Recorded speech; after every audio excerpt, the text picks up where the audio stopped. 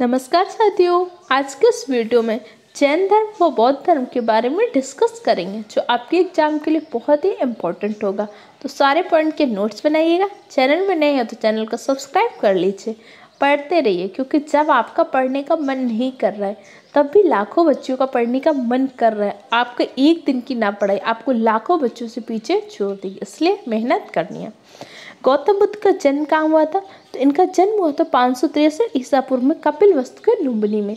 लुम्बनी वर्तमान में कहाँ पे है? तो नेपाल में है। इनके पिता सुतोधन जो कपिल वस्तु के साग गणराज के राजा थे।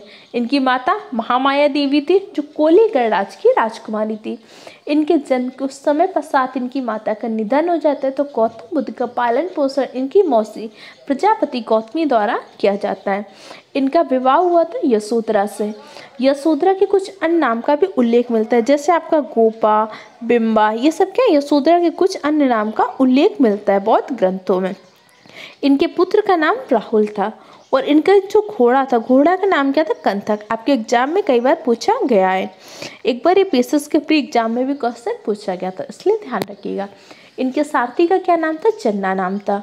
इन्होंने क्या किया था? चार दस देखे थे, जिससे विचलित होकर इन्होंने उनतीस वर्ष की अवस्था में क्या कर दिया था? गृह त्याग कर दिया था। इनके गृह त्याग की घटना को क्या बोलते हैं? महाविनिष्क्रम। प्रथम उपदेश की घटना को धर्मचक परिवर्तन। इनकी मृत्यु की घटना को महापरिनिवार। सारे पॉइंट याद रखिएगा। चलिए आगे डिस्कस करते हैं। बुद्ध के जन्म की कथाओं को वर्णन किसमें मिलता है? जातक कथा में गौतम बुद्ध के जन्म की कथाओं का वर्णन मिलता है। गौतम बुद्ध को लाइट ऑफ़ एशिया बोलते हैं? इसके अलावा सात मुनि भी बोलते हैं। ये सब गौतम बुद्ध की कुछ उपाधियाँ हैं। त्रिपिटक किसका ग्रंथ है? बौद्ध धर्म का ग्रंथ है। तीन पिटक थे। सुत्त पिटक विनय पिटक और अधिधम पिटक बुद्ध ने किस स्थान पर महापरिनिवार प्राप्त की? पावा के कुश्ती नगर में बुद्ध की मृत्यु हो गई थी। इनकी मृत्यु की घटना को महापरिनिवार बोलते हैं। भारत में सबसे प्राचीनतम बौद्ध विहार है। नालंदा विहार, सबसे प्राचीनतम बौद्ध विहार है। बुद्ध की मृत्यु के बाद प्रथम बौद्ध संगीति की अध्यक्षता किसने की थी? बौद्ध की चार बौद्ध संगीतियाँ होती हैं। प्रथम बौद्ध संगीति की अध्यक्षता की थी महाकश्यप ने। कहाँ पे हुई थी? तो प्रथम बौद्ध संगीति राजगृह में हुई थी। नागार्जुन कौन थे? एक बौद्ध दार्शनिक थे। नागार्जुन किसके दरबार में रहते थे? कमेंट सेक्शन में आंसर दीजिए। पिछले वीडियो में मैंने आपको बताया था। प्रथम बौद्ध संगीति कहाँ पे होती है? राजगृह में थी अध्यक्षता की थी महाकश्यप ने। अष्टांगिक मार्ग की संकल्पना धर्मचक परिवर्तन में दी गई थी। अष्टांगिक मार्ग क्या बताए? बुद्ध ने कहा कि जो अगर हमें अपने दुखों को ख़त्म करना है, दुखों को समाप्त करना है, इन्होंने चार कारण बताए थे दुख के। उन्होंने कहा उसके लिए हमें अष्टांगिक मार्ग का पालन करना पड़ेगा। राजा मिलांडर और एक बहुत थे, नागसेन। इनका जो एक संवाद होता है किसमें वर्णन है मिलिंद पन्नों में। मिलिंद पन्नों के एक बहुत धर्म ग्रंथ है, जिसमें राजा मिलांडर और बौद्ध भिक्षु नागसन नागसेन के प्रश्नों का, प्रश्न उत्तर क्वेश्चन आंसर होता है, एक संवाद होता है, उसका वर्णन किया गया है। महायान बौद्ध धर्म में बोधिस्व औलोकेश्वर और किस नाम से जानते हैं? जो बोधिस्त होता है, उसको हम पद पाड़ी के नाम से भी जानते हैं। क्या होता है बौद्ध धर्म दो शाखाओं में बढ़ जाता है, महायान में और हीनयान में। महायान में बोधिस्ट को हम पद पाणी के नाम से भी जानते हैं। बौद्ध धर्म और जैन धर्म दोनों ही विश्वास करते हैं, तथा कर्म और पुनर्जन्म के सिद्धांत सही हैं। बौद्ध धर्म और जैन धर्म दोनों में एक समानता ये एक तो कर्म पे और दूसरा पुनर्जन्म के सिद्धांत पे विश्वास करते हैं। कनिष्क शासन काल में चतुर्बौद्ध संगीति हुई थी आपकी चार बौद्ध संगीतियाँ हुई थी पहली बौद्ध संगीति कहाँ हुई थी राजगृह में हुई थी जिसकी अध्यक्षता किसने की थी? महाकश्यप ने। चतुर्बौद्ध संगीति, कुंडलवन कश्मीर में। किसके शासन काल में? कनिष्क बहुत इंपॉर्टेंट है। हर एग्ज़ाम में पूछी जाती है। तृतीय बौद्ध संगीति का आयोजन कहाँ होता है पाटिलपुत्र में। बुद्ध के जीवन से जुड़े कुछ प्रतीक हैं। ध्यान रखिएगा, कई बार आपके एग्ज़ाम में पूछते हैं। हाथी हाथी बुद्ध के गर्भ में आने का प्रतीक है। कमल कमल इनके जन्म का प्रतीक है। साढ़, यौवन का प्रतीक है। घोड़ा क्या इनके ग्रह त्याग का प्रतीक है? पीपल, ज्ञान का प्रतीक है। शेर, समृद्धि का प्रतीक है। पदचिन्ह निर्वाण का प्रतीक है। स्तूप, मृत्यु का प्रतीक है। ध्यान रखिएगा। गौतम बुद्ध के प्रथम गुरु कौन है? अलार ग्राम जब गौतम बुद्ध ने उनतीस वर्ष की अवस्था में ग्रह त्याग किया तो सबसे पहले अलार ग्राम से शिक्षा प्राप्त की थी।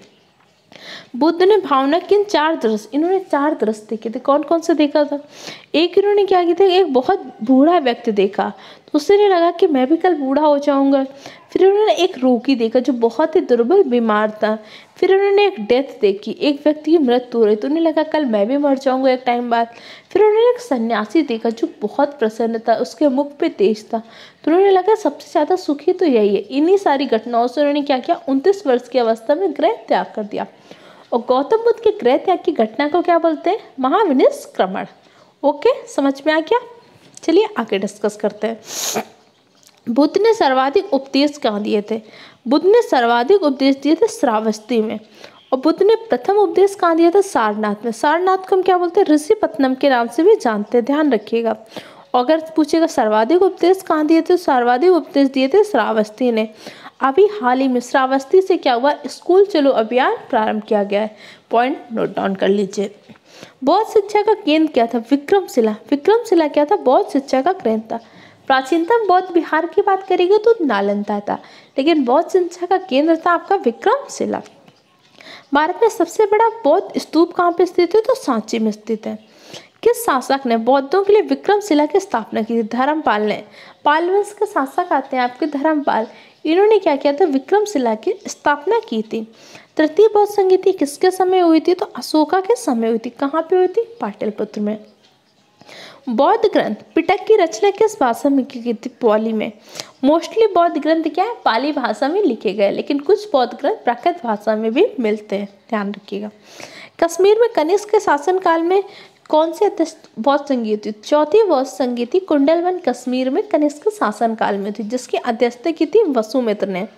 आप समझ लीजिए, बौद्ध जैन धर्म में इनके संगीतियाँ बहुत इंपॉर्टेंट है, बिल्कुल ध्यान रख लीजिए। मठ, मंदिर, स्तूप किस धर्म से संबंधित है? मठ, मंदिर, स्तूप, ये सब क्या बौद्ध धर्म से संबंधित हैं? और बौद्ध धर्म कितने शाखाओं में बढ़ गया था? दो शाखाओं में। हीनयान महायान। उसके पश्चात क्या हो जाता है? श्वेतांगर और दिगंबर में भी डिवाइड हो जाएगा। बौद्ध धर्म और जैन धर्म दोनों के उपदेश किस काल से संबंधित है? बिंबसार। बिंबसार के टाइम पे क्या था? दोनों थे। बौद्ध धर्म और जैन धर्म दोनों चल रहे थे। जिससे क्या होता है? बौद्ध धर्म आपका हीनिया और महायान में डिवाइड होता है। वैसे आपका जैन धर्म श्वेतांबर और दिगंबर में डिवाइड हो जाता है। ध्यान रखिएगा। गौतम बुद्ध ने प्रथम उपदेश कहाँ दिया था? सारनाथ। सारनाथ को क्या बोलते हैं? ऋषि पत्नम भी बोलते हैं। और गौतम बुद्ध ने सर्वाधिक उपदेश दिया श्रावस्ती में। श्रावस्ती से ही स्कूल चलो, अभियान प्रारंभ होगा। मैं चीज़ों को कई बार रिवाइज बोलती जाती हूँ ताकि आपको बार बार सुनने समय याद हो जाएगा। एक बार अभी सुन लीजिए, एक दो बार बाद में और सुनिएगा वीडियो। और क्लास में भी मैं कई सारी चीज़ें बार बार रिवाइज करती हूँ ताकि आपको सारी चीज़ें याद हो जाएँगी। आपको अभी लग रहा होगा कि मुझे याद नहीं हो रही, लेकिन आप बस दो तीन बार सुनिएगा आपको सारी चीज़ें एकदम रट जाएँगे। बौद्ध धर्म को ग्रहण करने वाली पहली महिला कौन थी? प्रजापति गौतमी। गौतम बुद्ध ने अपने प्रिय शिष्य आनंद के कहने पर महिलाओं को प्रवेश दिया था। तो सबसे पहली महिला कौन थी? महाप्रजापति गौतमी। इसके बाद क्या होता है? आम, आम्रपाली करते हैं। जो वहाँ पे क्या होता है, वहाँ की एक नगर वधु होती है, आम्रपाली। ये क्या करते हैं, गौतम बुद्ध के लिए एक महाविहार आम्रका नामक एक महाविहार दान करती है। प्रजापति गौतमी के पसंद और बौद्ध संघ में प्रवेश करने वाली दूसरी महिला होती है। बोध गया कहाँ पर स्थित बिहार में। जहाँ पे गौतम बुद्ध को क्या हुआ था? ज्ञान की प्राप्ति हुई थी। अभी बौद्ध गया में ही क्या हो रहा है? बहुत बड़ी। गौतम बुद्ध की लेटी हुई प्रतिमा बन रही है। आपका करंट का क्वेश्चन है, ध्यान रखिएगा। आप सबके एग्ज़ाम में क्या होता है? बहुत सारी चीज़ें करंट से रिलेट करके पूछता है। तो हमेशा हमें पेपर का पैटर्न एनालिसिस करना होता है। अब जैसे क्वेश्चन अभी इस टाइम पे क्या होगा? हिस्ट्री में किन टॉपिक से क्वेश्चन ज़्यादा आएगा? अभी हम क्या कर रहे हैं? पचहत्तरवा अमृत महोत्सव मना रहे हैं, आज़ादी का। तो हमें स्वतंत्रता संग्राम से रिलेटेड बहुत सारे क्वेश्चन आपके एग्ज़ाम में अपकमिंग एग्ज़ाम में देखने को मिलेंगे। इसके साथ ही अभी जैसे हमने मोपला विद्रोह की सौवीं वर्षगांठ मनाई थी। अभी क्या हुआ था कि कुछ टाइम पहले ब्रिटिश के जो पीएम थे, उन्होंने कुछ टाइम पहले गोल्डन टेंपल को लेकर एक बयान दिया था। तो आपको गोल्डन टेंपल से क्वेश्चन आ सकते हैं। स्वतंत्रता संग्राम से। अभी हाल ही में राष्ट्रपति का चुनाव संपन्न हुआ है कुछ टाइम पहले। तो राष्ट्रपति चुनाव से क्वेश्चन आ सकते हैं।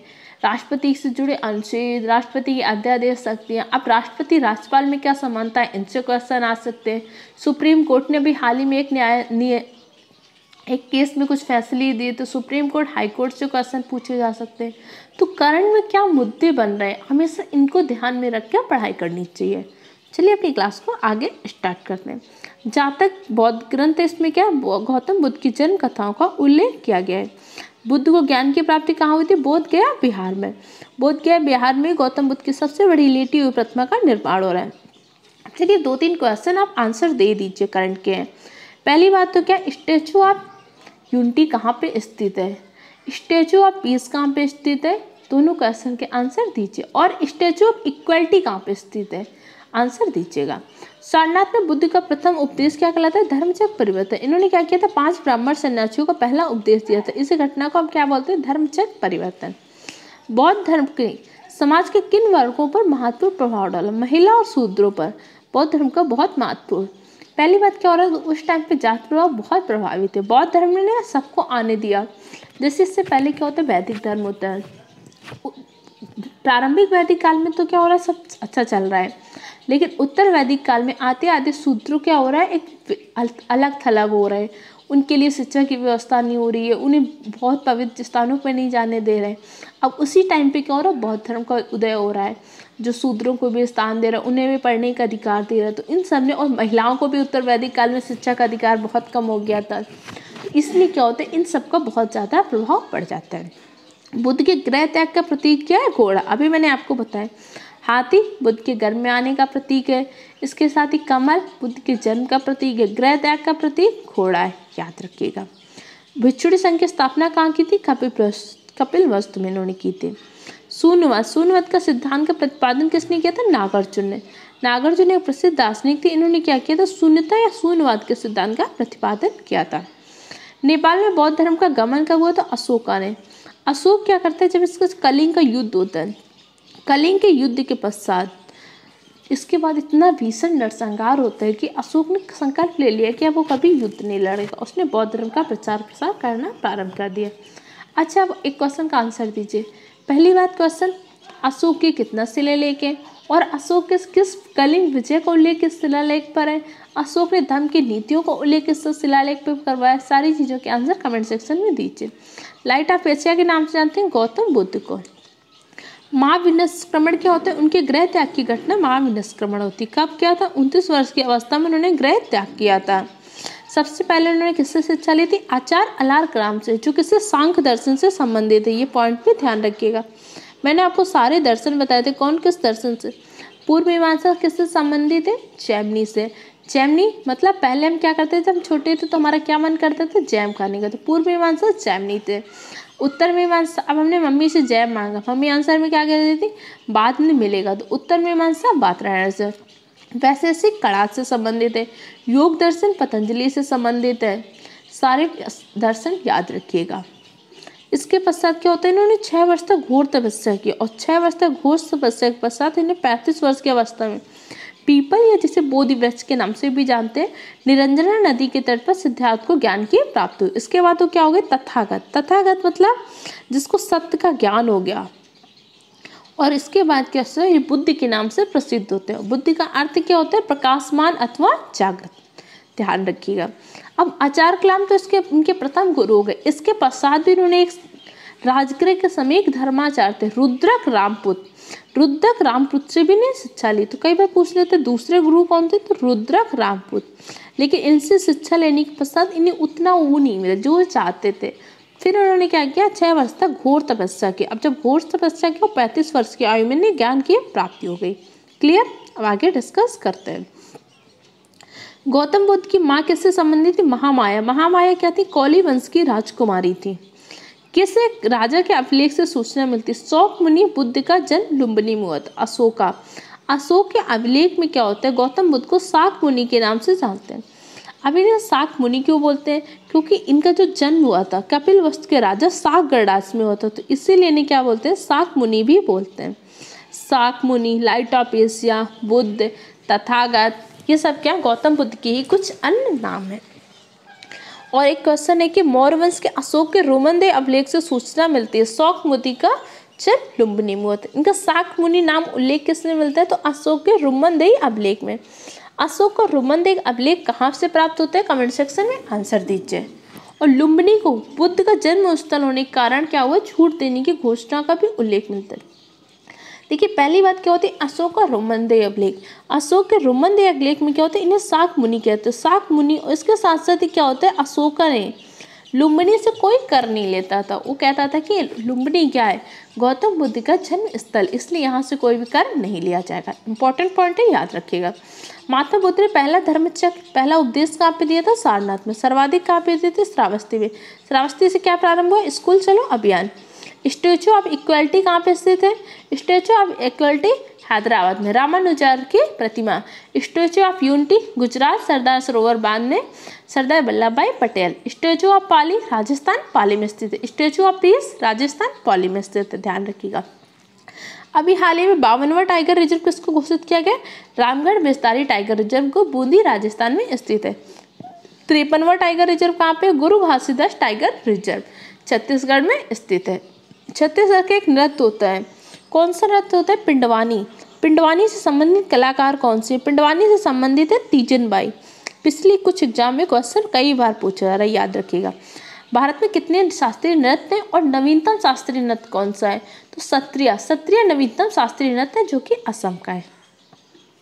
बुद्ध ने सर्वाधिक उपदेश दिए थे श्रावस्ती ने। महात्मवीर का जन्म किस कुल में हो तो यंत्र क्षत्रिय कुल में हुआ था। तो अभी आज के उस वीडियो में हमने बौद्ध धर्म के बारे में सारे इंपॉर्टेंट पॉइंट को डिस्कस कर लिया है। आप इन सबको अच्छे से रिवाइज करिए। जैन धर्म के बारे में हम कल पूरा डिटेल से पढ़ेंगे। इसके बाद ही आपको कुछ कन्फ्यूज़न हो तो कमेंट सेक्शन में पूछ सकते हैं। और आप अगर मेन्स आंसर राइटिंग के लिए कुछ फ्लो चार्ट जैसे जैन धर्म के, हड़प्पा सभ्यता के, वैदिक काल के, कुछ फ्लो चार्ट जो आपको मेन्स आंसर राइटिंग में हेल्प करें तो मैंने टेलीग्राम चैनल पर डाल दिया है। वहाँ से जाके देख लीजिएगा। फ्लो चार्ट आपके लिए बहुत ही इंपॉर्टेंट होगा चैनल को सब्सक्राइब कर लीजिए, अपने दूसरे फ्रेंड के साथ भी शेयर कीजिए। Okay thank you